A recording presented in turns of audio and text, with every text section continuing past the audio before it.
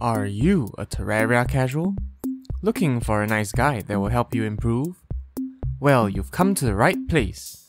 Welcome to the Casual Terrarian, where we'll do a guided playthrough full of tips, tricks, and other information that will help you on your own Terraria playthrough. If you're new here, I'm Zuzucorn, and here we make videos by casuals for casuals. So subscribe now so you won't miss the next episode of the Casual Terrarian. So, last episode, we fished for the Reaver Shark and managed to take down Skeletron, which gives us access to the dungeon.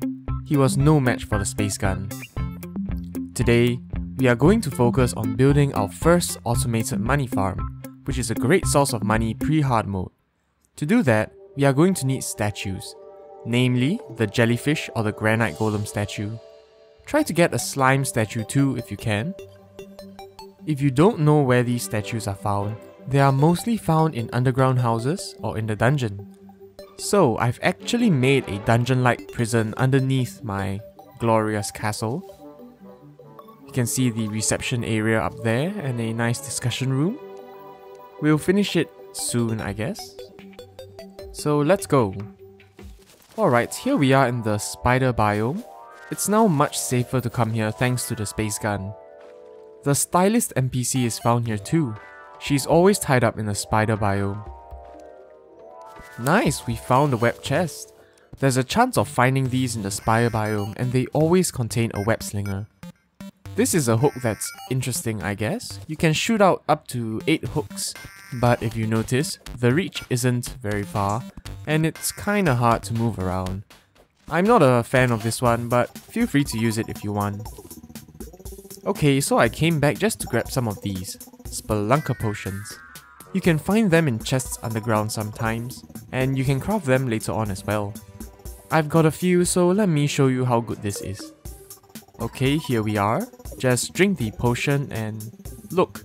You can see all of the ores, chests and other valuable things now. This is great if you're hunting for a certain ore or if you're looking for underground houses, which will always have a chest that will show up. So this here is a marble biome. They might have life crystals and some nice looking pots to break. These hoplites throw javelins that hurt a lot, so try to avoid them at the start of the game. So here we have a granite biome. These usually also have life crystals. Be careful of the enemies though, we can handle them now, but anything is hard at the start. This is a glowing mushroom biome. They contain life crystals and statues sometimes. The mushrooms can be gathered as well, which are a crafting material. They are basically another type of wood. Here we actually have a underground house and a goblin statue. Oh look, we've stumbled across the skeleton merchant. He's an NPC that spawns randomly when you're underground. And what he sells depends on the moon phase, but that doesn't really matter. If you're a yo-yo user, definitely buy the counterweight too. It's a yo-yo accessory that deals extra damage. Feel free to explore the underground desert too, you're strong enough now. But the desert fossil block is quite tough to mine, so be mindful of that. Alright, another house plundered, let's explore here. Oh, it's a nymph! Let's get her, let's get her. Oh, she's tough. Ooh, we got a metal detector too. Lucky. So the nymph is actually a really rare enemy who will spawn as a lost girl, which acts like an NPC. If you get close, it'll transform and try to kill you. It has a 0.6% chance of spawning pre-hard mode, and a 0.1% or a 1 in 1000 chance of spawning in hard mode. So that was really lucky of us. By the way, if you want to ride a minecart track, just press R. Then you can go left or right. To get off, just press R again. Simple. Alright, we are here back in the dungeon to explore. This is a hallowed chest. It's a special chest that needs a special key. There are also other chests like the jungle chest and the corruption chest. The keys have a 1 in 2500 chance of dropping from an enemy of that biome. So the corruption key from the corruption biome basically. Even if you find one now, you can't use it until you beat a boss in hard mode, so don't worry about these too much. Wow, I've been at this for a long time.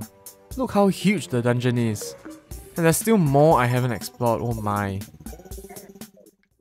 Alright, we're back.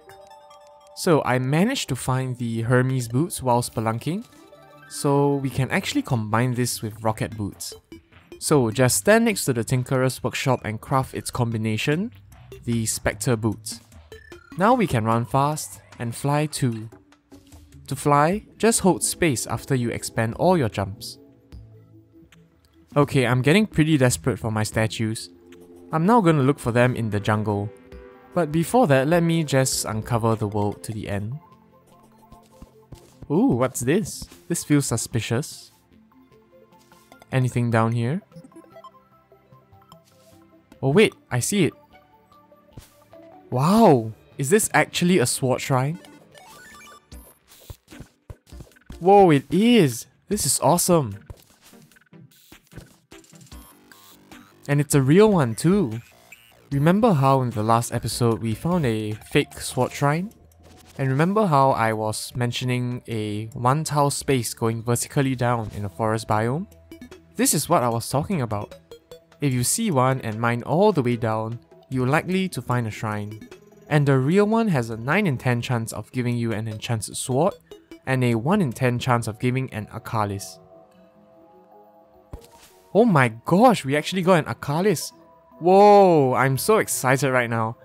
This is actually my first Arkhalis. Whoa, look at that! Ha, we are so strong. Notice how it emits light too? That's awesome. This is great, we're actually really lucky. Anyway, let's make our way to the jungle.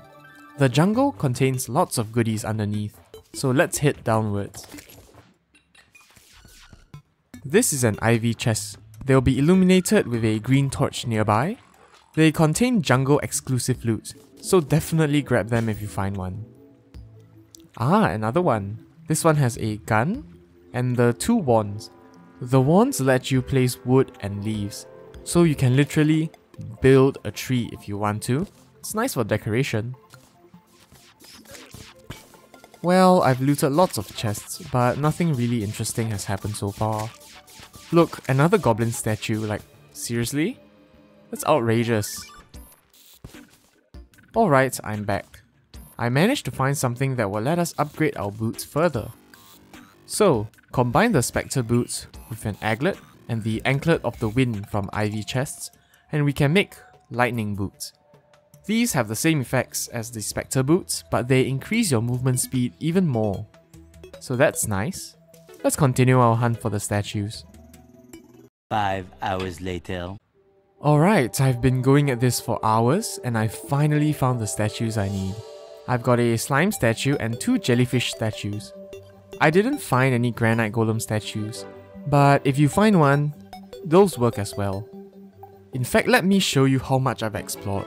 So look, I've explored a huge amount of this area, checked out almost the entire jungle too, and look at our insane dungeon. It even extends to below the ocean. Let me show you the statues I found. Look, so many of them. Four goblin statues. Seriously, that's outrageous. Oh, the traveling merchant came. Nice. Let's check him out. Nothing that interesting. Oh, he has a sitting ducks fishing pole though. This is actually the second or third best fishing rod in the game. If you can afford it, I really recommend it. By the way, something fun here. You can combine a whoopee cushion, which you can get from giant worms underground, with a cloud in a bottle. This makes one of these. A fart in a bottle. Kinda fun, huh? Look! Ah, that's nice. Let me show you, it's actually quite high too. It's not that bad. Oh well, let's get back to building our money farm. So to start off, build a long U-shaped structure and, well, not trap yourself inside. Alright, then place your statues down like so.